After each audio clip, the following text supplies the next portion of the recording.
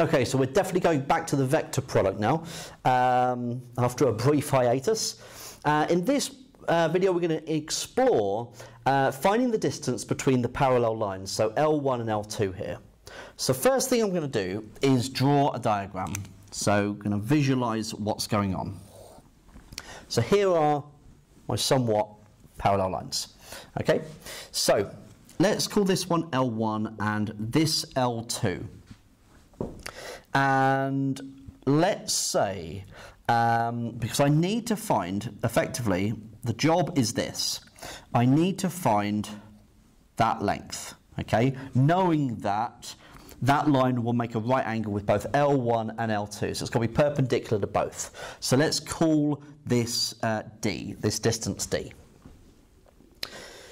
So what I'm going to do is I'm going to say, okay, well, for this, I'm going to need some point on L2. Um, let's say that that is the point R.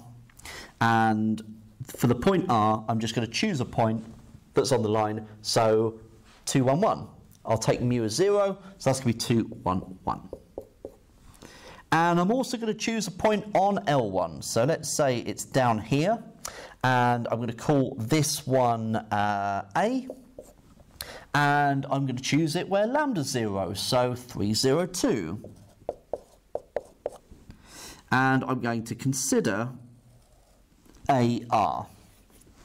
Now you might be able to see where this is going because if I've got AR, I can work out its length. Uh, I know the direction of L1 because that will be 1 minus 3 minus 2. Okay, so I know it's going in that direction and I can talk about this angle here. So this is looking very similar to finding the shortest distance between a point and a line, uh, which we were looking at a few videos back. Because what we can say then is that sine of the angle is equal to the opposite, d, over the hypotenuse, which is the length of AR. So d is equal to the length of AR times sine of the angle. We can also say, okay, well, um, the vector product then of the direction vector of L1 and AR, so the vector product of 1 minus 3 minus 2 crossed with AR, so the length of that has got to be equal to the length of 1 minus 3 minus 2 times the length of AR times sine of the angle. And of course, that is precisely what I've got here. So that's D. So I can then say that D must be equal to that divided by that. Okay? So what I really want is to work out what AR is. So up here I'll write AR is equal to OR minus OA. So 2 take away 3, so minus 1. 1 take away 0 is 1. 1 take away 2 is minus 1. So there's AR. So we've got the length of the vector product of 1 minus 3 minus 2 and uh, minus 1, 1, minus 1 divided by the length of this vector here.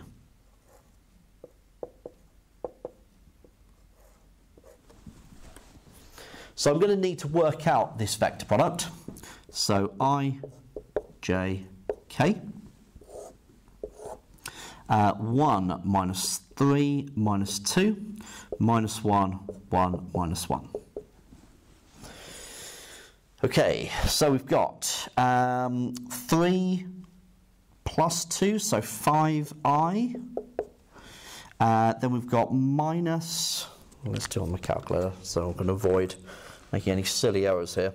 Um, minus 1, take away 2, so plus 3j. Um, and then 1 take away 3, so minus 2k. Okay? Right, so this is going to be equal to the length of this vector, so 5 squared plus 3 squared uh, plus 2 squared, so root 38 divided by the length of that vector. So 1 plus 9 plus 4, so root 14. Which is root 133 over 7, which is 1.65 to three significant figures. Okay, so effectively, I'm going doing a very similar calculation, if not the same calculation really, as I did between a point and a line. Okay, so uh, we'll see if we can derive a general result in the next video.